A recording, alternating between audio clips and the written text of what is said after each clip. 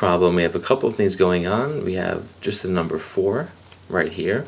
We have 2 to the third power, which means to multiply 2 three times, which is 8.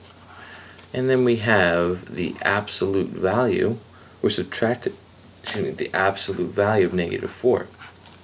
That means how far is negative this number negative 4 from 0? Well, the answer is it's 4 away.